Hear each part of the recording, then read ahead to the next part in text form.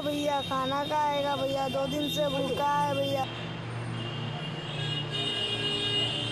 चल दारू पीते हैं आज तो। नहीं भाई एक काम करते सही बोल रहा था यार।